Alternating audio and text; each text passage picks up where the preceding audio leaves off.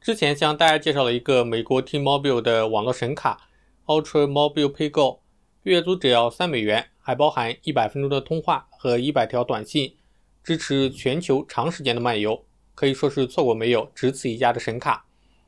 最近有很多小伙伴在电报群里面反馈，T-Mobile 网络旗下的所有的手机卡已经开通成功的 WiFi 通话功能，突然间无法使用。新激活的手机卡也没有办法去开通 WiFi 通话的功能，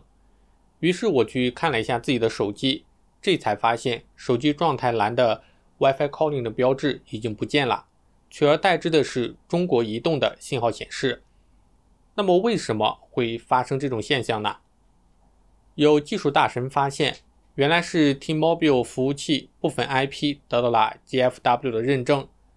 这样的操作真是让人大跌眼镜。毕竟，电信运营商的服务器是社会运转的基础设施，相当于水电煤气。屏蔽电信运营商的服务器，这种做法确实不是那么光彩。如果不使用 WiFi 通话，那么 T-Mobile 手机卡在国内虽然还是可以正常的使用，但是资费会贵上几倍，因为它在国内是处于漫游状态，在漫游状态下使用的是中国移动的信号。套餐内的通话时长和免费的短信都是无法使用的。收短信每条零点一美元，发短信每条零点五美元，拨打电话和接听电话的费用都是每分钟三点五美元。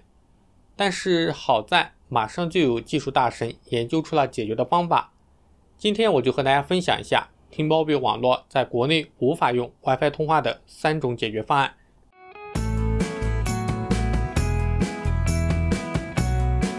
首先，第一种是最简单的一种，修改手机 WiFi 的 DNS 设置。以苹果手机为例，我们打开设置，选择无线局域网，点击你正在连接的 WiFi 右边的标志，页面往下拉，选择配置 DNS，把这边的自动改为手动，选择添加服务器。我们可以增加这两个 IP 服务器，点击储存，重启手机。如果顺利的话，WiFi 通话就会再次连接成功。安卓手机，我用 Pixel 为例，下拉状态栏，选择设置，选择网络和互联网，点击互联网，点击设置，点击右上角的编辑，选择高级设置，在 IP 设置里边改为静态 IP，然后我们就可以看到下面的 DNS 选项，把它替换为这两个 DNS，然后重启手机，顺利的话，WiFi 通话就会再次连接成功。修改手机 WiFi DNS 设置的操作非常简单。也有大量的小伙伴通过这种方式顺利的解锁 WiFi 通话。如果说你用了这种方法却没有成功，那么可以尝试接下来我介绍的第二种方法。第二种方法就是开启 WiFi 的代理。需要注意的是，如果你的 WiFi 本身没有开代理，只开启了手机的代理，那么是没有办法开启 WiFi 通话的，必须要在 WiFi 上开代理才可以。如果你的 WiFi 开启了代理，但是还没有解锁 WiFi 通话，那么需要确认三个地方。第一个地方是你的路由器代理软件有没有开启 UDP 转发，必须开启才可以解锁。第二个地方是你使用的代理节点支不支持 UDP 转发。那么要怎么样判断自己的代理支不支持呢？我们无法直接判断的，只能去咨询自己购买代理的服务商。第三个地方。你在添加节点的时候有没有设置开启 UDP 转发状态为 True？一般情况下，如果你的节点支持 UDP 转发，你的路由器代理也开启了 UDP 转发，那么你的手机连上这个路由器的 WiFi 就可以解锁 WiFi 通话，手机不需要再另外设置。另外，很多小伙伴试了以上两种方法都没有用，包括我自己。昨天在研究的时候，这两种方法试了很多遍都不能顺利的解锁。直到我的电报群里面有技术大神分享了自己的方法，我测试了之后一次解锁成功。这种方法需要你的路由器系统是 OpenWRT，我们只需要在网络设置里面添加 DNS 自定义挟持域名就可以了。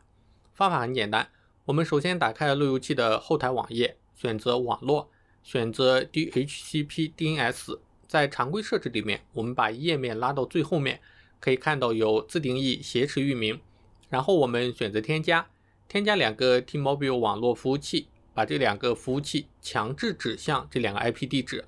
然后点击保存应用，保存完成之后，重启手机就可以看到 WiFi 通话已经顺利解锁。第三种方法是目前实测成功率最高的一种方法。如果你家里用的是软路由，那么强烈推荐使用这种方法。只需要路由器设置一次，手机无需操作，成功之后就可以在多台手机上成功生效解锁。如果你家里使用的是普通路由器，那么推荐使用前两种方法进行测试。使用这三种方法可以解锁的成功率在百分之九十以上。如果你实在没有办法解锁的话，那么并不代表 T-Mobile 手机号在国内就无法正常使用了。